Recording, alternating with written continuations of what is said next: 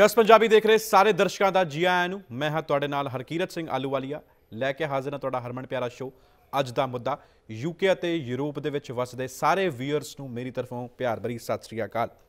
ਦੋਸਤੋ, ਉਮੀਦ ਹੈ ਕਿ ਤੁਹਾਡਾ ਵੀਕਐਂਡ ਜਿਹੜਾ ਅੱਛਾ ਗੁਜ਼ਰਿਆ ਹੋਣਾ ਹੈ ਔਰ ਆਉਣ ਵਾਲਾ ਜਿਹੜਾ ਤੁਹਾਡਾ ਅੱਗੇ ਜਿਹੜੇ ਵੀਕਐਂਡਸ ਨੇ ਉਹ ਵੀ ਅੱਛੇ ਗੁਜ਼ਰਨਗੇ।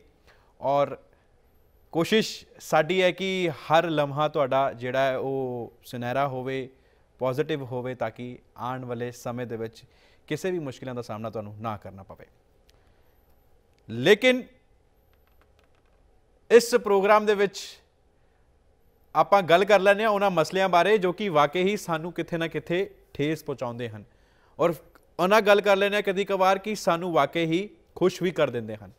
ਕੋਸ਼ਿਸ਼ ਕਰਦੇ ਹਾਂ ਕਿ ਇੱਕ ਪੋਜ਼ਿਟਿਵ ਮਾਹੌਲ ਜਿਹੜਾ ਉਹ ਮਨਾਇਆ ਜਾਏ ਔਰ ਉਹਦਾ ਕਨਕਲੂਜਨ ਕੱਢ ਕੇ ਤੁਹਾਡੇ ਵਿਚਾਰ ਜਾਣ ਕੇ ਉਹਨੂੰ ਕਿਸੇ ਨਾ ਕਿਸੇ ਤਰੀਕੇ ਨਾਲ ਪੋਜ਼ਿਟਿਵ ਕਰ ਦਿੱਤਾ ਜਾਏ। ਸਕਾਰਾਤਮਕ ਸੋਚ ਔਰ ਸਕਾਰਾਤਮਕ ਨਜ਼ਰੀਆ ਇੱਕ ਅੱਛੇ ਇੰਡੀਵਿਜੂਅਲ ਦੀ, ਇੱਕ ਅੱਛੀ ਆਰਗੇਨਾਈਜੇਸ਼ਨ ਦੀ ਔਰ ਇੱਕ ਅੱਛੇ ਇਨਸਾਨ ਦੀ ਚਿਹਰਾ ਹੁੰਦਾ। ਔਰ ਸਭ ਤੋਂ ਅਹਿਮ ਗੱਲ ਹੈ, ਅਸੀਂ ਤਜਵੀਜ਼ ਵੀ ਰੱਖਦੇ ਹਾਂ ਔਰ ਤੁਸੀਂ ਵੀ ਤਜਵੀਜ਼ ਰੱਖਦੇ ਹੋ ਕਿ ਜੇਕਰ ਇਸ ਤਰੀਕੇ ਨਾਲ ਕਰੀਏ ਤਾਂ ਐ ਹੋਰ ਪੋਜ਼ਿਟਿਵ ਹੋ ਸਕਦਾ ਔਰ ਉਹਦਾ ਜਿਹੜਾ ਰੋਡ ਮੈਪ ਹੈ, ਉਹ ਬਣ ਸਕਦਾ। ਕੋਸ਼ਿਸ਼ ਵੀ ਸਾਡੀ ਰਹਿੰਦੀ ਹੈ ਕਿ ਉਹਨਾਂ ਹੀ ਗੱਲਾਂ ਨੂੰ ਅਸੀਂ ਇਸ ਪਲੇਟਫਾਰਮ ਦੇ ਉੱਤੇ ਲੈ ਕੇ ਆਈਏ, ਤਾਂ ਕਿ ਤੁਸੀਂ ਆਪਣੇ ਸੁਝਾਅ ਆਪਣੇ ਵਿਚਾਰ ਸਾਡੇ ਨਾਲ ਸਾਂਝੇ ਕਰ ਸਕੋ। ਔਰ ਕੋਸ਼ਿਸ਼ ਇਸ ਪ੍ਰੋਗਰਾਮ ਦੇ ਵਿੱਚ ਇਹ ਵੀ ਹੈ ਕਿ ਅਸੀਂ ਜਿਹੜੇ ਨੈਸ਼ਨਲ ਅਤੇ ਇੰਟਰਨੈਸ਼ਨਲ ਪਲੇਟਫਾਰਮ ਦੇ ਉੱਤੇ ਜਿਹੜੇ ਮਸਲੇ ਨੇ, ਮੁੱਦੇ ਨੇ, ਉਹਨਾਂ ਨੂੰ ਤੁਹਾਡੇ ਸਾਹਮਣੇ ਲੈ ਕੇ ਆਈਏ। ਮੈਂ ਕਈ ਵਾਰ ਕੋਸ਼ਿਸ਼ ਕੀਤੀ ਕਿ ਸੋਸ਼ਲ ਮੀਡੀਆ ਦਾ ਅੱਜਕੱਲ ਜ਼ਮਾਨਾ ਹੈ ਔਰ ਸੋਸ਼ਲ ਮੀਡੀਆ ਦੇ ਵਿੱਚ ਕਈ ਵਾਰ ਅਸੀਂ ਵੇਖਿਆ ਕਈ ਅਜਿਹੀਆਂ ਖਬਰਾਂ ਹੁੰਦੀਆਂ ਹਨ ਜੋ ਕਿ ਵਾਇਰਲ ਤਾਂ ਹੋ ਜਾਂਦੀਆਂ ਹਨ, ਲੇਕਿਨ 네ਗੇਟਿਵ ਤਰੀਕੇ ਨਾਲ। ਇੱਕ ਬੰਦੇ ਨੇ 네ਗੇਟਿਵ ਲਿਖਣਾ ਸ਼ੁਰੂ ਕੀਤਾ, ਥੱਲੇ ਵੀ negative comments negative comments negative negative negative but ਅੱਛਾ ਲੱਗਦਾ ਕਿ ਜਦ ਜਦ ਕੋਈ ਬੰਦਾ ਪੂਰੀ ਖਬਰ ਨੂੰ ਸਮਝ ਕੇ ਪੋਜ਼ਿਟਿਵ ਵੀ ਲਿਖਦਾ। ਲੇਕਿਨ ਅਸੀਂ ਅੱਜ ਅੱਜਕੱਲ ਸੋਸ਼ਲ ਮੀਡੀਆ ਦੇ ਉੱਤੇ ਜ਼ਿਆਦਾ ਵਿਸ਼ਵਾਸ ਕਰ ਲੈਨੇ ਆ ਔਰ ਅਸਲ ਖਬਰ ਜਿਹੜੀ ਆ ਉਹ ਸਾਨੂੰ ਪਤਾ ਹੀ ਨਹੀਂ ਚੱਲਦੀ, ਅਸੀਂ ਅਣਜਾਣ ਰਹਿ ਜੰਨੇ ਆ ਲੇਕਿਨ ਮੀਡੀਆ ਹਾਊਸਸ ਇਸੇ ਕਰਕੇ ਬਣੇ ਹੋਏ ਨੇ ਔਰ ਜਦ ਗੱਲ ਆਉਂਦੀ ਹੈ ਅਸਲ ਖਬਰ ਦੇ ਉੱਤੇ ਮੋਹਰ ਲਾਣ ਦੀ, ਤਾਂ ਜਸ ਬ੍ਰੌਡਕਾਸਟਿੰਗ ਤੁਹਾਡਾ ਹਰਮਨ ਪਿਆਰਾ ਸ਼ੋ ਅੱਜ ਦਾ ਮੁੱਦਾ, ਇਸੇ ਕਰਕੇ ਬਣਿਆ ਹੋਇਆ। ਕੋਸ਼ਿਸ਼ ਅਸੀਂ ਵੀ ਕਰਦੇ ਹਾਂ ਕਿ ਖਬਰ ਨੂੰ ਆਥੈਂਟਿਕੇਟ ਕਰਕੇ ਤੁਹਾਡੇ ਸਾਹਮਣੇ ਲੈ ਕੇ ਆਈਏ ਔਰ ਤੁਸੀਂ ਉਸ ਮੁਤਲਕ ਆਪਣੇ ਵਿਚਾਰ ਸਾਡੇ ਨਾਲ ਸਾਂਝੇ ਕਰ ਸਕੋ। ਕਿਉਂਕਿ ਡਿਸੀਜਨ ਤਾਂ ਤੁਸੀਂ ਦੇਣਾ ਹੈ, ਗੱਲ ਤਾਂ ਤੁਸੀਂ ਕਹਿਣੀ ਹੈ, ਕਿਉਂਕਿ ਪ੍ਰੋਗਰਾਮ ਹੀ ਤੁਹਾਡਾ ਔਰ ਮੈਂ ਸਾਰੇ ਵਿਊਅਰਸ ਦਾ ਬਹੁਤ-ਬਹੁਤ ਧੰਨਵਾਦ ਕਰਨਾ ਚਾਹਨਾ ਕਿ ਤੁਸੀਂ ਯੂਕੇ ਅਤੇ ਯੂਰਪ ਦੇ ਵਿੱਚ ਇਸ ਪ੍ਰੋਗਰਾਮ ਨੂੰ ਹੱਲਾਸ਼ੇਰੀ ਦੇ ਰਹੇ ਹੋ ਔਰ ਇਸ ਪ੍ਰੋਗਰਾਮ ਨੂੰ ਇੰਨਾ ਮਾਣ ਸਤਕਾਰ ਬਖਸ਼ ਰਹੇ ਹੋ। ਬਹੁਤ-ਬਹੁਤ ਧੰਨਵਾਦ ਆ ਸਾਡੇ ਵਿਊਅਰਸ ਦਾ, ਜੋ ਸਾਨੂੰ ਈਮੇਲ ਕਰਕੇ ਆਪਣੇ ਫੀਡਬੈਕ ਵੀ ਦਿੰਦੇ ਨੇ ਔਰ ਅੱਗੇ ਅਸੀਂ ਕੀ ਕੀ ਮੁੱਦੇ ਲੈ ਕੇ ਆਈਏ, ਉਹ ਵੀ ਸਾਨੂੰ ਦੱਸਦੇ ਨੇ। ਤੇ ਲੇਕਿਨ ਅੱਜ ਜਿਸ ਮਸਲੇ ਉੱਤੇ ਮੈਂ ਗੱਲ ਕਰਨ ਜਾ ਰਿਹਾ, ਮੈਨੂੰ ਲੱਗਦਾ ਤੇ ਸਾਡੇ ਬੈਕਐਂਡ ਟੀਮ ਨੂੰ ਲੱਗਦਾ ਕਿ ਇਸ ਮੁੱਦੇ ਦੇ ਉੱਤੇ ਵੀ ਗੱਲ ਕਰਨੀ ਲਾਜ਼ਮੀ ਹੈ। ਲਾਜ਼ਮੀ ਇਸ ਕਰਕੇ ਬਣ ਜਾਂਦੀ ਹੈ ਕਿ 1947 ਦੀ ਵੰਡ ਤੋਂ ਬਾਅਦ, ਉਸ ਵਿਛੋੜੇ ਤੋਂ ਬਾਅਦ ਜੋ ਕਿ ਪਾਕਿਸਤਾਨ ਤੋਂ ਪੰਜਾਬ ਗਏ, ਪੰਜਾਬ ਤੋਂ ਕਈ ਪਾਕਿਸਤਾਨ ਗਏ, ਉਸ ਵਿਚਕਾਰ ਜੋ ਆਪਸੀ ਤਾਲਮੇਲ ਹੋਇਆ, ਆਪਸੀ ਵਿਛੋੜੇ ਹੋਏ, ਇੱਕ ਪਰਿਵਾਰ ਅੱਜ ਭਾਰਤ ਦੇ, ਪੰਜਾਬ ਦੇ ਵਿੱਚ ਰਹਿ ਰਿਹਾ, ਇੱਕ ਪਰਿਵਾਰ ਪਾਕਿਸਤਾਨ ਦੇ ਪੰਜਾਬ ਦੇ ਵਿੱਚ ਰਹਿ ਰਿਹਾ ਵੰਡ ਤਾਂ ਸਿਰਫ ਪੰਜਾਬ ਦੀ ਹੀ ਹੋਈ। ਇੱਕ ਪੰਜਾਬ ਉੱਥੇ ਚਲਾ ਗਿਆ, ਇੱਕ ਪੰਜਾਬ ਇੱਥੇ ਆ ਗਿਆ। ਔਰ 1947 ਤੋਂ ਲੈ ਕੇ 2018 ਤੱਕ ਅੱਜ ਲਗਭਗ 70 ਸਾਲ ਹੋ ਚੁੱਕੇ ਨੇ।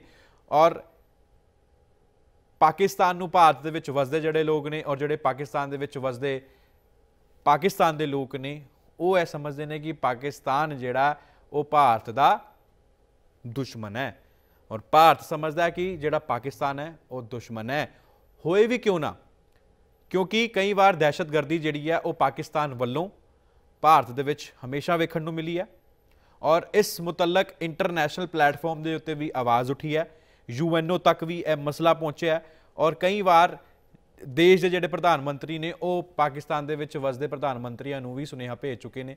ਲੇਕਿਨ ਜੇਕਰ ਮੈਂ ਗੱਲ ਕਰ ਲਵਾਂ ਅਟਲ ਬਿਹਾਰੀ ਵਾਜਪਾਈ ਤਾਂ ਉਹਨਾਂ ਨੇ ਇੱਕ ਮਿਸਾਲ ਕਾਇਮ ਕੀਤੀ ਸੀ ਕਿ ਜਦ ਉਹ ਬੱਸ ਦਾ ਸਫ਼ਰ ਕਰਕੇ ਪਹੁੰਚੇ ਸੀਗੇ ਪਾਕਿਸਤਾਨ ਦੇ ਵਿੱਚ, ਅਮਨ ਸ਼ਾਂਤੀ ਨੂੰ ਬਹਾਲ ਕਰਨ ਦੇ ਲਈ। ਕਿਉਂਕਿ ਕਈ ਪ੍ਰਧਾਨ ਮੰਤਰੀ ਜਿਹੜੇ ਪਾਕਿਸਤਾਨ ਦੇ ਵਿੱਚ ਵਸਦੇ ਨੇ, ਕਈ ਪ੍ਰਧਾਨ ਮੰਤਰੀ ਜਿਹੜੇ ਭਾਰਤ ਦੇ ਵਿੱਚ ਵਸਦੇ ਨੇ, ਉਹਨਾਂ ਨੇ ਅਮਨ ਸ਼ਾਂਤੀ ਨੂੰ ਬਹਾਲ ਕਰਨ ਦੇ ਲਈ ਕਈ ਵਾਰ ਕਈ ਪ੍ਰੋਗਰਾਮ ਉਸਾਰੇ ਔਰ ਉਹਨਾਂ ਨੂੰ ਅਮਲੀ ਜਾਮਾ ਵੀ ਪਨਾਇਆ।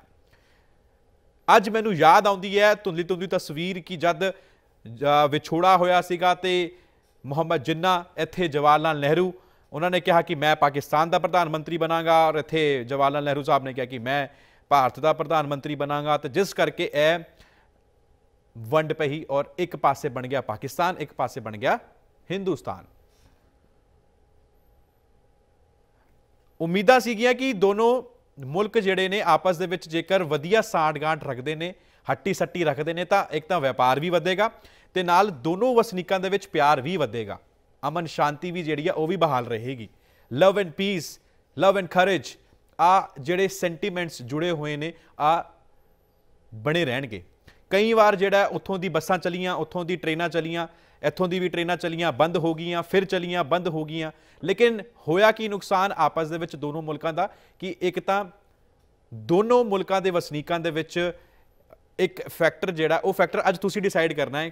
ਤੁਸੀਂ ਮੈਨੂੰ ਦੱਸੋਗੇ ਕਿਉਂਕਿ ਤੁਹਾਡੀ ਕਈ ਅੱਜ ਵਿਊਅਰਸ ਮੈਨੂੰ ਦੇਖ ਰਹੇ ਹੋਣਗੇ ਜਿਨ੍ਹਾਂ ਦਾ ਜਨਮ ਹੀ ਪਾਕਿਸਤਾਨ ਦੇ ਵਿੱਚ ਹੋਇਆ। ਜੇਕਰ ਮੈਂ ਆਪਣੇ ਗ੍ਰੈਂਡ ਫਾਦਰ ਆਪਣੇ ਗ੍ਰੈਂਡ ਮਦਰ ਦੀ ਗੱਲ ਕਰਾਂ ਤਾਂ ਉਹਨਾਂ ਦਾ ਜਨਮ ਵੀ ਪਾਕਿਸਤਾਨ ਦੇ ਵਿੱਚ ਹੋਇਆ। ਸਿੱਖਾਂ ਤਾਂ ਪਹਿਲਾਂ ਸਾਰਾ ਕੁਝ ਇੱਕ ਹੀ, ਲੇਕਿਨ ਮੈਂ ਅੱਜ ਇਸ ਪ੍ਰੋਗਰਾਮ ਦੇ ਵਿੱਚ ਤੁਹਾਨੂੰ ਇਹ ਜ਼ਰੂਰ ਦੱਸਣਾ ਚਾਹਨਾ ਔਰ ਜ਼ਰੂਰ ਮੈਂ ਤੁਹਾਡੇ ਜਿਹੜੇ ਵਿਊਜ਼ ਨੇ ਉਹ ਵੀ ਦੱਸਣਾ ਚਾਹੁੰਦਾ ਕਿ ਤੁਹਾਨੂੰ ਕੀ ਲੱਗਦਾ ਭਾਰਤ ਔਰ ਪਾਕਿਸਤਾਨ ਦੇ ਰਿਸ਼ਤਿਆਂ ਨੂੰ ਲੈ ਕੇ। ਤੁਹਾਨੂੰ ਲੱਗਦਾ ਕਿ ਸਮੇਂ ਦੇ ਸਿਆਸਤਦਾਨਾਂ ਨੇ ਵੰਡ ਪਾਉਣ ਦੀ ਕੋਸ਼ਿਸ਼ ਕੀਤੀ ਜਾਂ ਵਾਕਈ ਪਾਕਿਸਤਾਨ ਦੇ ਵਿੱਚ ਵਜਦੇ ਕੁਝ ਲੋਕਾਂ ਨੇ ਭਾਰਤ ਨੂੰ ਖਤਮ ਕਰਨ ਦੀ ਸਾਜ਼ਿਸ਼ ਰਚੀ ਜਾਂ ਭਾਰਤ ਦੇ ਵਿੱਚ ਅੱਤਵਾਦ, ਦਹਿਸ਼ਤਗਰਦੀ ਫੈਲਾਉਣ ਦੀ ਸਾਜ਼ਿਸ਼ ਰਚੀ ਜਾਂ ਰਚ ਰਹੇ ਨੇ ਹਜੇ ਵੀ? ਕਿਉਂਕਿ ਇਹ ਅਸੀਂ ਲਗਾਤਾਰ ਇੰਡੀਆ, ਪਾਕਿਸਤਾਨ ਵੇਖਦੇ ਆਏ ਹਾਂ। ਔਰ ਸਭ ਤੋਂ ਵੱਡੀ ਗੱਲ, ਇੰਡੀਆ, ਪਾਕਿਸਤਾਨ ਤੋਂ ਮੈਨੂੰ ਇਹ ਯਾਦ ਆਉਂਦਾ ਹੈ ਕਿ ਜਦ ਇੰਡੀਆ, ਪਾਕਿਸਤਾਨ ਦਾ ਕ੍ਰਿਕਟ ਮੈਚ ਹੁੰਦਾ ਹੈ, ਤਾਂ ਕੋਈ ਕ- ਜਿਹੜੇ ਟੀਵੀ ਨੇ ਉਹ ਪਾਕਿਸਤਾਨ ਦੇ ਵਿੱਚ ਟੁੱਟਦੇ ਨੇ। ਕਈ ਟੀਵੀ ਹਿੰਦੁਸਤਾਨ ਦੇ ਵਿੱਚ ਟੁੱਟਦੇ ਨੇ ਔਰ ਕਈ ਟੀਵੀ ਤਾਂ ਯੂਕੇ ਅਤੇ ਯੂਰਪ ਦੇ ਵਿੱਚ ਵਸਦੇ ਲੋਕਾਂ ਦੇ ਵਿੱਚ ਟੁੱਟਦੇ ਨੇ। ਇਹ ਟੀਵੀ ਇਸ ਕਰਕੇ ਟੁੱਟਦੇ ਨੇ ਕਿ ਇੰਡੀਆ ਹਾਰ ਗਿਆ ਜਾਂ ਫਿਰ ਪਾਕਿਸਤਾਨ ਜਿੱਤ ਗਿਆ, ਪਾਕਿਸਤਾਨ ਹਾਰ ਗਿਆ ਤੇ ਇੰਡੀਆ ਜਿੱਤ ਗਿਆ। ਕਿਉਂਕਿ ਆਪਣੇ ਆਪਣੇ ਮੁਲਕ ਨੂੰ ਸਪੋਰਟ ਕਰਨ ਦੇ ਲਈ ਉਹ ਟੀਵੀ ਵੀ ਟੁੱਟ ਜਾਂਦੇ ਨੇ। ਯਾਨੀ ਕਿ ਇੱਥੇ ਤੱਕ ਸਾਡੇ ਜਿਹੜੇ ਵਿਊਅਰਸ ਨੇ ਉਹਨਾਂ ਦੇ ਸੈਂਟੀਮੈਂਟਸ ਜੁੜੇ ਹੋਏ ਨੇ। ਸਾਡੇ ਵਸਨੀਕਾਂ ਦੇ ਇੱਥੇ ਤੱਕ ਉਹਨਾਂ ਦੇ ਸੈਂਟੀਮੈਂਟਸ ਨੇ ਕਿ ਟੀਵੀ ਵੀ ਤੋੜ ਦਿੱਤੇ ਜਾਂਦੇ ਨੇ। ਤੇ ਅੱਜ ਮੁੱਦਾ ਕਰਨ ਦਾ ਮਕਸਦ ਇਹ ਸੀਗਾ, ਜਿਹੜੀ ਖਬਰ ਹੁਣ ਪਾਕਿਸਤਾਨ ਤੋਂ ਸਾਹਮਣੇ ਆ ਰਹੀ ਹੈ ਕਿ 11 ਅਗਸਤ ਨੂੰ ਇਮਰਾਨ ਖਾਨ ਪ੍ਰਧਾਨ ਮੰਤਰੀ ਵੰਜੋਂ ਸੌ ਚੁੱਕਣਗੇ ਔਰ ਕੀ ਹੁਣ ਆਉਣ ਵਾਲੇ ਸਮੇਂ ਦੇ ਵਿੱਚ ਭਾਰਤ ਔਰ ਪਾਕਿਸਤਾਨ ਦੇ ਜਿਹੜੇ ਰਿਸ਼ਤੇ ਨੇ ਉਹ ਸੁਲਝਣਗੇ ਕਸ਼ਮੀਰ ਦਾ ਮੁੱਦਾ ਹੋਵੇ ਜਾਂ ਫਿਰ ਆਪਸੀ ਵਪਾਰ ਦਾ ਮੁੱਦਾ ਹੋਵੇ ਜਾਂ ਫਿਰ ਜਿਹੜੇ ਹੋਰ ਮੁੱਦਿਆਂ ਦੇ ਉੱਤੇ ਵਿਦੇਸ਼ ਵਿਦੇਸ਼ ਮੰਤਰੀ ਦੋਵੇਂ ਮੁਲਕਾਂ ਦੇ ਆਪਸ 'ਚ ਲਗਾਤਾਰ ਵਿਚਾਰ ਵਟਾਂਦਰਾ ਕਰਦੇ ਆਏ ਨੇ, ਕੀ ਹੁਣ ਉਹ ਸੁਲਝਣਗੇ? ਕੀ ਹੁਣ ਜਿਹੜੇ ਕ੍ਰਿਕਟਰ ਨੇ ਭਾਰਤ ਦੇ ਵਿੱਚ ਵਸਦੇ, ਯਾਨੀ ਕਿ ਇਮਰਾਨ ਖਾਨ ਦੇ ਹਾਣੀ, ਯਾਨੀ ਕਿ ਉਹਨਾਂ ਦੇ ਫਰੈਂਡਸ ਸੁਨੀਲ ਗਵਾਸਕਰ, ਕਪਿਲ ਦੇਵ ਕੀ ਹੁਣ ਉਹਨਾਂ ਨੂੰ ਜ਼ਿੰਮੇਵਾਰੀ ਦਿੱਤੀ ਜਾਏਗੀ ਕਿ ਜਾ ਕੇ ਗੱਲ ਕਰੋ? ਹੋਰ ਇਹ ਗੱਲ ਹੋ ਵੀ ਰਹੀ ਹੈ। ਇਮਰਾਨ ਖਾਨ ਨੇ ਸੁਨੀਲ ਗਵਾਸਕਰ ਨੂੰ, ਕਪਿਲ ਦੇਵ ਨੂੰ 11 ਅਗਸਤ ਨੂੰ ਹੋਣ ਵਾਲੀ ਸੋ ਚੁੱਕ ਸਮਾਗਮ ਦੇ ਵਿੱਚ ਨਿਯੋਤਾ ਵੀ ਭੇਜਿਆ ਹੈ। ਖਬਰ ਇਹ ਵੀ ਸਾਹਮਣੇ ਆ ਰਹੀ ਹੈ ਕਿ ਨਰਿੰਦਰ ਮੋਦੀ ਵੀ ਪਹੁੰਚ ਸਕਦੇ ਨੇ ਇਮਰਾਨ ਖਾਨ ਦੇ ਇਸ ਸੋ ਚੁੱਕ ਸਮਾਗਮ ਦੇ ਵਿੱਚ ਔਰ ਆਪਸੀ ਸੰਬੰਧ ਭਾਰਤ ਪਾਕਿਸਤਾਨ ਦਾ ਸੁਲਝਾਉਣ ਦੀ ਕੋਸ਼ਿਸ਼ ਕੀਤੀ ਜਾਏਗੀ। ਇਹਨਾਂ ਕ੍ਰਿਕਟਰਸ ਵੱਲੋਂ ਜਿਹੜੇ ਕ੍ਰਿਕਟਰਸ ਇੱਕ ਮੈਦਾਨ ਦੇ ਵਿੱਚ ਦੂਜੇ ਵੱਖ-ਵੱਖ ਟੀਮਾਂ ਦੇ ਵਿੱਚ ਖੇਡਦੇ ਸਨ। ਅੱਜ ਉਹ ਕ੍ਰਿਕਟਰ ਸਿਆਸੀ ਗਲਿਆਰੇ ਦੇ ਵਿੱਚ ਉਤਰ ਚੁੱਕੇ ਨੇ। ਕੀ ਹੁਣ ਸਿਆਸੀ ਗਲਿਆਰੇ ਦੇ ਵਿੱਚ ਉਤਰਨ ਦੇ ਨਾਲ ਭਵਿੱਖ ਜਿਹੜਾ ਭਾਰਤ ਅਤੇ ਪਾਕਿਸਤਾਨ ਦਾ ਸੁਨਹਿਰਾ ਹੋਏਗਾ? ਪਹਿਲਾਂ ਵੇਖਦੇ ਹਾਂ ਇਮਰਾਨ ਖਾਨ ਦੀ ਇਹ ਰਿਪੋਰਟ। ਪਾਕਿਸਤਾਨ ਵਿੱਚ ਸਭ ਤੋਂ ਵੱਡੀ ਪਾਰਟੀ ਬਣ ਕੇ ਉਭਰੀ। ਪਾਕਿਸਤਾਨ ਤਹਿਰੀਕ-ਏ ਇਨਸਾਫ ਵਿਰੁੱਧ ਸਿਆਸੀ ਪਾਰਟੀਆਂ ਨੇ ਗਠਜੋੜ ਕਰਨਾ ਸ਼ੁਰੂ ਕਰ ਦਿੱਤਾ ਹੈ। ਸਥਾਨਕ ਮੀਡੀਆ ਦੇ ਮੁਤਾਬਿਕ ਜੇਲ੍ਹ ਵਿੱਚ ਬੰਦ ਸਾਬਕਾ ਪੀਐਮ ਨਵਾਜ਼ ਸ਼ਰੀਫ ਦੀ ਪਾਰਟੀ, ਪਾਕਿਸਤਾਨ ਮੁਸਲਿਮ ਲੀਗ ਨਵਾਜ਼ ਅਤੇ ਬਿਲਾਵਲ ਭੁੱਟੋ ਦੀ ਪਾਕਿਸਤਾਨ ਪੀਪਲਜ਼ ਪਾਰਟੀ ਇੱਕ ਮਜ਼ਬੂਤ ਵਿਰੋਧੀ ਧਿਰ ਬਣਾਉਣ ਦੇ ਲਈ ਹੱਥ ਮਿਲਾਉਣ ਤੇ ਸਹਿਮਤ ਹੋ ਗਈ ਹੈ। ਇਹਨਾਂ ਦੋਹਾਂ ਪਾਰਟੀਆਂ ਦੇ ਮਿਲਣ ਦੇ ਨਾਲ ਇਮਰਾਨ ਖਾਨ ਦੀ ਪਾਰਟੀ ਪਾਕਿਸਤਾਨ ਤਹਿਰੀਕ-ਏ-ਇਨਸਾਫ ਨੂੰ ਸਖਤ ਚੁਣੌਤੀ ਮਿਲਣ ਦੀ ਸੰਭਾਵਨਾ ਹੈ। ਰਿਪੋਰਟ ਦੇ ਮੁਤਾਬਿਕ ਪੀਐਮਐਲਐਨ ਅਤੇ ਪੀਪੀਪੀ ਨੇ ਹੱਥ ਇਸ ਲਈ ਮਿਲਾਇਆ ਹੈ, ਜੇਕਰ ਪੀਟੀਆਈ ਸਰਕਾਰ ਬਣਾਉਣ ਵਿੱਚ ਸਫਲ ਰਹਿੰਦੀ ਹੈ, ਤਾਂ ਦੋਵੇਂ ਪਾਰਟੀਆਂ ਸੰਸਦ ਵਿੱਚ ਉਸ ਨੂੰ ਸਖਤ ਟੱਕਰ ਦੇ ਸਕਣ। ਜਿਸ ਲਈ ਦੋਹਾਂ ਪਾਰਟੀਆਂ ਨੇ ਤਾਲਮੇਲ ਤੇ ਸੰਯੁਕਤ ਰਣਨੀਤੀ ਬਣਾਉਣ ਤੇ ਸਹਿਮਤੀ ਦੇ ਦਿੱਤੀ ਹੈ। ਜ਼ਿਕਰਯੋਗ ਹੈ ਕਿ ਇਮਰਾਨ ਦੀ ਪਾਰਟੀ ਆਮ ਚੋਣਾਂ ਵਿੱਚ 116 ਸੀਟਾਂ ਤੇ ਜਿੱਤ ਹਾਸਲ ਕਰਕੇ ਸਭ ਤੋਂ ਵੱਡੀ ਪਾਰਟੀ ਦੇ ਰੂਪ ਵਿੱਚ ਉਭਰੀ ਹੈ। ਪਰ ਪੂਰਨ ਬਹੁਮਤ ਦੇ ਲਈ ਹਾਲੇ ਵੀ ਉਹ ਕੁਝ ਸੀਟਾਂ ਦੂਰ ਹੈ। ਪੀਐਮਐਲਐਨ ਨੂੰ 64 ਅਤੇ ਪੀਪੀਪੀ ਨੂੰ 43 ਸੀਟਾਂ ਮਿਲੀਆਂ ਨੇ। ਦੋਹਾਂ ਪਾਰਟੀਆਂ ਵੱਲੋਂ ਸਿੱਧੇ ਤੌਰ ਤੇ ਬੈਠਕ ਕੀਤੀ ਗਈ ਹੈ। ਜਿਸ ਤੋਂ ਬਾਅਦ ਪੀਐਮਐਲਐਨ ਦੇ ਨੇਤਾ ਮੁਸ਼ਾਹਿਦ ਹੁਸੈਨ ਸੈਯਦ ਨੇ ਦੱਸਿਆ ਕਿ ਦੋਹਾਂ ਪਾਰਟੀਆਂ ਇਸ ਗੱਲ ਤੇ ਇਕਜੁੱਟ ਨੇ ਕਿ ਚੋਣਾਂ ਵਿੱਚ ਗੜਬੜੀ ਕੀਤੀ ਗਈ ਹੈ। ਇਸ ਗੱਠਜੋੜ ਤੋਂ ਇਹ ਵੀ ਸਿੱਧ ਹੁੰਦਾ ਹੈ ਕਿ ਸਿਆਸਤ ਦੇ ਵਿੱਚ ਕੁਝ ਵੀ ਹੋ ਸਕਦਾ ਹੈ। ਇੱਕ ਦੂਜੇ ਤੇ ਵੱਡੇ ਇਲਜ਼ਾਮ ਲਗਾਉਣ ਵਾਲੀਆਂ ਪਾਰਟੀਆਂ ਫਾਇਦਾ ਦੇਖ ਝਟ ਹੱਥ ਮਿਲਾ ਲੈਂਦੀਆਂ ਨੇ। ਹਾਲਾਂਕਿ ਪਾਕਿਸਤਾਨ ਦੀ ਸਿਆਸਤ ਵਿੱਚ ਸਮੇਂ ਦੇ ਨਾਲ-ਨਾਲ ਹੋਰ ਕੀ ਕੀ ਰੰਗ ਵੇਖਣ ਨੂੰ ਮਿਲਦੇ ਨੇ, ਇਹ ਵੀ ਵੇਖਣਾ ਦਿਲਚਸਪ ਹੋਵੇਗਾ। News desk report just TV ਤੇ ਇਹ ਹੁਣ ਜਿਹੜੀਆਂ ਖਬਰਾਂ ਹਾਲ ਫਿਲਹਾਲ ਦੇ ਵਿੱਚ ਜਦੋਂ ਚੋਣਾਂ ਹੋਈਆਂ ਪਾਕਿਸਤਾਨ ਦੇ ਗਲਿਆਰਿਆਂ ਦੇ ਵਿੱਚ, ਸਿਆਸੀ ਗਲਿਆਰਿਆਂ ਦੇ ਵਿੱਚ, ਇਹਨਾਂ ਨੇ ਆਪਣੀ ਜਗ੍ਹਾ ਬਣਾਈ, ਇਹ ਭਖਦੀ ਸਿਆਸਤ ਜਿਹੜੀ ਆ ਪਾਕਿਸਤਾਨ ਦੇ ਵਿੱਚ ਵੇਖਣ ਨੂੰ ਮਿਲੀ। ਲੇਕਿਨ ਕੀ ਹੁਣ ਇਹ ਜਿਹੜੀ 11 ਅਗਸਤ ਨੂੰ ਸੌ ਚੁੱਕ ਸਮਾਗਮ ਦੇ ਵਿੱਚ ਸੌ ਚੁੱਕਣਗੇ ਇਮਰਾਨ ਖਾਨ, ਕੀ ਇਹ ਜਿਹੜਾ ਹੁਣ ਪ੍ਰਧਾਨ ਮੰਤਰੀ ਬਣਨ ਦਾ ਸੁਪਨਾ ਸੀਗਾ ਇਮਰਾਨ ਖਾਨ ਦਾ ਜਿਹੜਾ ਹੁਣ ਉਹਨਾਂ ਦਾ ਪੂਰਾ ਹੋਇਆ ਉੱਥੇ ਪੱਤਰਕਾਰਾਂ ਦੇ ਗਲਿਆਰਿਆਂ ਦੇ ਵਿੱਚ ਕੀ ਕੁਲ ਗੱਲ, ਕੀ ਕੁਝ ਜਿਹੜੀ ਗੱਲ ਹੈ, ਉਹ ਚੱਲ ਰਹੀ ਹੈ, ਉਹ ਵੀ ਜਾਣਨ ਦੀ ਕੋਸ਼ਿਸ਼ ਕਰਦੇ ਹਾਂ। ਅਸੀਂ ਗੱਲ ਕੀਤੀ ਸੀਗੀ ਬੀਬੀਸੀ ਦੇ ਕੋਰਸਪੋਂਡੈਂਟ ਜੋ ਕਿ ਪਾਕਿਸਤਾਨ ਦੇ ਵਿੱਚ ਵਸਦੇ ਨੇ, ਮਸੂਦ ਜੰਜੂਆ ਦੇ ਨਾਲ, ਉਹਨਾਂ ਨੇ ਆਪਣਾ ਰਿਐਕਸ਼ਨ ਭੇਜਿਆ, ਆਪਣੀ ਪ੍ਰਤੀਕਿਰਿਆ ਭੇਜੀ ਇਸ ਮੁਤਲਕ ਕਿ ਕਿਸ ਤਰੀਕੇ ਨਾਲ ਭਾਰਤ ਅਤੇ ਪਾਕਿਸਤਾਨ ਦੇ ਜਿਹੜੇ ਸੰਬੰਧ ਨੇ, ਉਹ ਸੁਧਰ ਸਕਦੇ ਨੇ, ਇਮਰਾਨ ਖਾਨ ਕਿਸ ਤਰੀਕੇ ਦੇ ਸ਼ਖਸੀਅਤ ਨੇ ਔਰ ਕਿੱਥੋਂ ਉਹਨਾਂ ਨੇ ਪੜ੍ਹਾਈ ਕੀਤੀ ਹੈ ਔਰ ਕਿਸ ਤਰੀਕੇ ਦਾ ਉਹਨਾਂ ਦਾ ਜਿਹੜਾ ਪੋਲੀਟੀਕਲ ਕੈਰੀਅਰ ਵੀ ਰਿਹਾ ਹੈ ਤੇ ਨਾਲ ਨਾਲ ਜਿਹੜਾ ਉਹਨਾਂ ਦਾ ਕ੍ਰਿਕਟਰ ਦਾ ਕੈਰੀਅਰ ਹੈ, ਉਹ ਵੀ ਰਿਹਾ ਹੈ ਤੇ ਆਉਣ ਵਾਲੇ ਸਮੇਂ ਦੇ ਵਿੱਚ ਕੀ ਕੁਝ ਹੋਏਗਾ ਕੀ ਕੁਝ ਸਿਆਸਤ ਜਿਹੜੀ ਹੈ ਭਾਰਤ ਅਤੇ ਪਾਕਿਸਤਾਨ ਦੇ ਵਿੱਚ ਭਖੇਗੀ, ਉਹ ਵੀ ਜਾਣਨ ਦੀ ਕੋਸ਼ਿਸ਼ ਕਰਦੇ ਹਾਂ। ਮਸੂਦ ਜੰਜੂਆ ਦੀ ਇਹ ਪ੍ਰਤੀਕਿਰਿਆ। ਦੀ ਗਵਰਨਮੈਂਟ ਦੇ ਅੰਦਰ ਮੇਰੇ ਹਿਸਾਬ ਵਿੱਚ ਇੰਡੀਆ ਔਰ ਪਾਕਿਸਤਾਨ ਦੇ ਰਿਲੇਸ਼ਨਸ਼ਿਪ ਵਿੱਚ ਬਿਹਤਰੀ ਆਵੇਗੀ, ਕਿਉਂਕਿ ਖਾਨ ਸਾਹਿਬ ਆਕਸਫੋਰਡ ਕੁਆਲੀਫਾਈਡ ਨੇ ਫੋਰਨ ਕੁਆਲੀਫਾਈਡ ਨੇ, ਉਹਨਾਂ ਦਾ ਵਿਜ਼ਨ ਬ੍ਰੌਡ ਵਿਜ਼ਨ ਹੈ। ਇਸ ਤੋਂ ਇਲਾਵਾ ਉਹਨਾਂ ਦੇ ਕ੍ਰਿਕਟ ਦੇ ਵਾਲੇ ਨਾਲ ਵੀ ਬੜੀ ਫਰੈਂਡਸ਼ਿਪ ਹੈ ਔਰ ਵੈਸੇ ਵੀ ਪ੍ਰਾਈਵੇਟ ਲਾਈਫ ਵਿੱਚ ਵੀ ਇੰਡੀਅਨ ਨਾਲ ਬਹੁਤ ਜ਼ਿਆਦਾ ਫਰੈਂਡਸ਼ਿਪ ਹੈ। ਔਰ ਪਹਿਲੇ ਸਪੀਚ ਵਿੱਚ ਵੀ ਉਹਨਾਂ ਕਲੀਅਰ ਕੀਤਾ ਹੈ ਕਿ ਇੰਡੀਆ ਅਗਰ ਇੱਕ ਕਦਮ ਇੰਡੀਅਨ ਆਣਗੇ ਇਹ ਚਾਰ ਕਦਮ ਚੱਲ ਕੇ ਅੱਗੇ ਜਾਣਗੇ। ਇਸ ਤੋਂ ਇਲਾਵਾ, ਗੋ ਕੇ ਉਹਨਾਂ ਨੇ ਆਪਣੀ ਸਪੀਚ ਵਿੱਚ ਇਲੈਕਸ਼ਨ ਵਿਨ ਕਰਨ ਲਈ ਬਹੁਤ ਕੁਝ ਇੰਡੀਆ ਤੇ ਅਟੈਕ ਕੀਤੇ ਨੇ। ਲੇਕਿਨ ਉਹ ਇਲੈਕਸ਼ਨ ਦੀ ਹੱਦ ਤੱਕ ਕੇ ਇਲੈਕਸ਼ਨ ਦੀ ਵੋਟਾਂ ਲੈਣ ਦੀ ਹੱਦ ਤੱਕ ਹੈ ਲੇਕਿਨ ਇਸ ਤੋਂ ਇਲਾਵਾ ਮੇਰੇ ਹਿਸਾਬ ਵਿੱਚ ਉਹ ਉਹ ਖਾਨ ਦੀ ਗਵਰਨਮੈਂਟ ਦੇ ਅੰਦਰ ਇੰਡੀਆ ਔਰ ਪਾਕਿਸਤਾਨ ਦੇ ਰਿਲੇਸ਼ਨ ਵਿੱਚ ਬੜਾ ਪੋਜ਼ਿਟਿਵ ਚੇਂਜ ਆਏਗਾ ਫੋਰਨ ਪਾਲਿਸੀ ਪਾਕਿਸਤਾਨ ਦੀ ਗੋ ਸਿਵਲੀਅਨ ਦੇ ਕੰਟਰੋਲ ਵਿੱਚ ਵੀ ਨਹੀਂ ਹੈ ਬਹੁਤ ਮੁਸ਼ਕਲ ਹੈ ਸਿਵਲੀਅਨ ਅਸਰਟ ਕਰ ਸਕਣ ਫੋਰਨ ਪਾਲਿਸੀ ਦੇ ਵਿੱਚ ਔਰ ਸਪੈਸ਼ਲੀ ਇੰਡੀਅਨ ਪਾਲਿਸੀ ਦੇ ਵਿੱਚ ਲੇਕਿਨ ਅਗਰ ਖਾਨ ਸਾਹਿਬ ਨੂੰ ਇੱਕ ਸਪੋਰਟ ਬੈਕਐਂਡ ਤੇ ਮਿਲਦੀ ਹੈ ਨਵਾਜ਼ ਪੀਐਮਐਲਐਨ ਗਵਰਨਮੈਂਟ ਦੀ ਕਿਉਂਕਿ ਪੀਐਮਐਲਐਨ ਗਵਰਨਮੈਂਟ ਵੈਸੇ ਵੀ ਕਿਹਾ ਜਾਂਦਾ ਹੈ ਕਿ ਨਵਾਜ਼ ਸ਼ਰੀਫ ਮੋਦੀ ਦਾ ਯਾਰ ਹੈ ਅਗਰ ਉਹ ਪੀਐਮਐਲਐਨ ਔਰ ਪੀਪਲਸ ਪਾਰਟੀ ਉਹਨਾਂ ਨੂੰ ਸਪੋਰਟ ਦਿੰਦੇ ਨੇ ਫੋਰਨ ਪਾਲਿਸੀ ਤੇ ਤਾਂ ਆਫ ਕੋਰਸ ਇੰਡੀਆ ਔਰ ਪਾਕਿਸਤਾਨ ਦੀ ਰਿਲੇਸ਼ਨਸ਼ਿਪ ਵਿੱਚ ਬਿਹਤਰੀ ਆਏਗੀ ਔਰ ਦੋਨੋਂ ਦੇਸ਼ ਕਰੀਬ ਆਉਣਗੇ। ਇਸ ਤੋਂ ਇਲਾਵਾ ਵਾਗਾ ਬਾਰਡਰ ਦੇ ਅੰਦਰ ਗੇਟ ਦੀ ਵੀ ਨਈ ਕੰਸਟਰਕਸ਼ਨ ਦਾ ਕੰਮ ਸ਼ੁਰੂ ਹੋ ਗਿਆ ਹੈ। ਤੇ ਮੇਰੇ ਹਿਸਾਬ ਵਿੱਚ ਇਨਸ਼ਾਅੱਲਾ ਇਹ ਨੈਕਸਟ 5 ਇਅਰ ਬੈਟਰ ਹੋਣਗੇ ਪਿਛਲੇ 5 ਇਅਰ ਤੋਂ।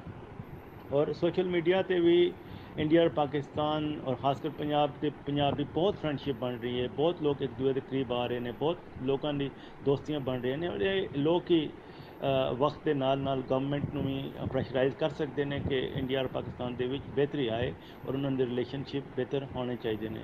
ਔਰ, ਇਨਸ਼ਾਅੱਲਾ ਹਮ ਖਾਨ ਦੀ, ਖਾਨ ਸਾਹਿਬ ਦੀ ਗਵਰਨਮੈਂਟ ਇਹ ਇੰਪਰੂਵਮੈਂਟ ਜ਼ਰੂਰ ਲਾਏਗੀ।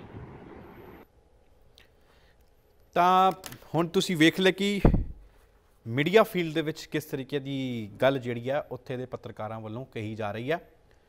ਹੁਣ ਅੱਜ ਅਸੀਂ ਇਸੇ ਬਾਰੇ ਵਿਚਾਰ ਵਟਾਂਦਰਾ ਕਰਾਂਗੇ ਔਰ ਮੈਂ ਜ਼ਰੂਰ ਚਾਹਾਂਗਾ ਕਿ ਬ੍ਰੇਕ ਤੋਂ ਬਾਅਦ ਮੈਂ ਫਿਲਹਾਲ ਸਾਡੇ ਨਾਲ ਇੱਕ ਗੈਸਟ ਜੁੜਨਗੇ ਜੋ ਕਿ ਆਪਸੀ ਸੰਬੰਧ ਦੇ ਬਾਰੇ ਵਿਚਾਰ ਵਟਾਂਦਰਾ ਕਰਨਾ ਚਾਹੁੰਦੇ ਨੇ ਕਿ ਕਿਸ ਤਰੀਕੇ ਦੇ ਹੁਣ ਜਿਹੜੇ ਸੰਬੰਧ ਨੇ ਉਹ ਵੇਖਣ ਨੂੰ ਮਿਲ ਸਕਦੇ ਨੇ ਇਮਰਾਨ ਖਾਨ ਦੇ ਪ੍ਰਧਾਨ ਮੰਤਰੀ ਬਣਨ ਤੋਂ ਬਾਅਦ ਔਰ ਫਿਰ ਉਸ ਤੋਂ ਬਾਅਦ ਤੁਹਾਡੀਆਂ ਕਾਲਾਂ, ਤੁਹਾਡੇ ਸੁਝਾਅ ਤੁਹਾਡੇ ਫੀਡਬੈਕ ਤੁਹਾਡਾ ਕਨਕਲੂਜਨ ਇਸ ਬ੍ਰੇਕ ਤੋਂ ਉਸ ਪਾਰ।